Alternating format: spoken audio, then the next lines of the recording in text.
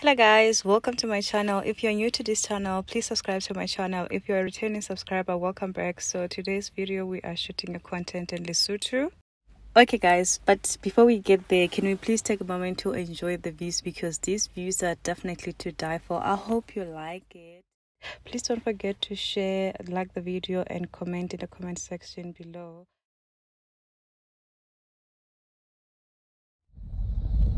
Hi guys, um, I'm on my way to Muela Dam, so I don't know how safe it is for me to go there all by myself, especially at this time. And we are, I'm on a gravel road. Mm-hmm. Things we do. And if you don't know anything about Muela, I'll tell you a bit about it in a short while. I think right now what I need to do is I need to concentrate on driving because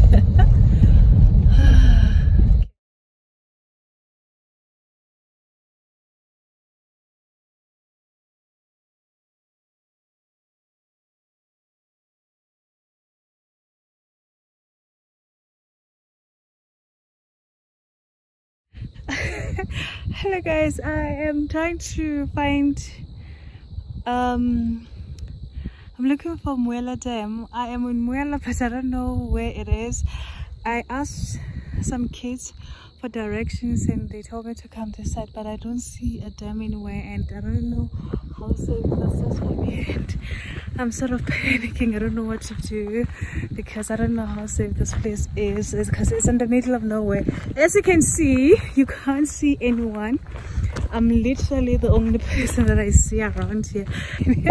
Yeah oh my goodness. Yeah i'm, I'm really scared. Let me just go because i don't know. Yeah so we finally arrived at our destination because we can definitely spot the dam from afar but so this um this dam is called Muela Dam. It's part of Lesotho Highlands project. It was opened in 1999. It's a multi-million project between South Africa and Lesotho. Yeah, apparently people actually say it's one of the successful stories that ever came out of South Africa. Not Africa, not South Africa, Africa in general. Yeah. So apparently billions of cubic liters of water is transferred through these tunnels that you see in front of you. So apparently this happens on daily basis. So what happens is that like you see the water that you see right here this is a collection of water from different dams in lesotho for instance some of the water comes from Mohale dam and Katse Dam and some other dams in Lesotho. So what they do is that they all transfer water from these dams to this area. There's a hydro power station here in Muela. I'll show you a picture a bit later. So what they do is before they transfer they transfer this water to South Africa, this water is used to generate electricity for Lesotho and its needs. And the funny thing is apparently they say the electricity generated here is more than half of Lesotho's needs. But the question is, if you know Lesotho and you've been to Lesotho, you know that there's quite a number of people who still don't have electricity in their homes. I mean, like, it doesn't make sense because not everybody has access to electricity in Lesotho. But apparently, they're saying that right now there's a new project they're trying to build a second hydro station hydro power station or something so that they can generate more electricity for lesotho and its needs so I don't know how that works. I'm not really good with this. But anyway, I just wanted to show you where South Africa gets water from. But and this place is so beautiful, guys. Like I mean, like I can't get over it. It's really beautiful. So oh here guys. I tried to shoot a video here but uh, the audio was audible. The audio was horrible. What i wanted to say was to tell you guys that if you're from south africa just know that this area right here this is where you get water your water from. If you are in gauteng that is because i believe that this water goes to gauteng. So the sad thing about this whole project even it's a good thing for Basotho and it's also a good thing for South Africans but honestly if you were to go to villages around here they don't have access to running water. I mean like people staying in this neighborhood not just at Muela like not just at Muela even people who stay next to Katse Dam or Mohale, they don't have many of them they don't have access to running water but here i mean in south africa people have access to running water. So the question is who's really enjoying this? Whose water is it? We know it comes from lesotho but whose water is it? Is it south african water uh, or is it Lesotho water? Because people who are enjoying the full benefits of this water are not people who stay around here. Hmm, I don't know. Anyway, I don't want to talk about politics. I just want to talk about the good news. Just know, guys, that you get your water from here hope I'm not gonna get in trouble for doing this but yeah I'm standing on top of the water. I don't know if you guys can see. Of course you can see. I mean there's water this side so I'm walking on top of the tunnel. I am scared but we are doing it anyway. Yeah but this is it guys. This is where they prepare water I mean, this is where they collect all the water from Lesotho to transport to South Africa. And I believe that right now Lesotho also gives Botswana water. So I guess uh, the same process happens. Even the water that goes to Botswana, it passes through this side. so I wanted to come here. This is the thing that I wanted to show you guys. Lesotho Highlands Water Project, Muela Demo. I'm walking on top of the dam but yeah. I made it. I have to sneak out of here but I'm so glad that I managed to come here. I just want to show you something. I don't know what this is called in English but in Sesotho it's called cocoa. So here in Lesotho we eat this. So I'm just gonna grab some yeah it's been a while. I'm gonna grab some and eat this.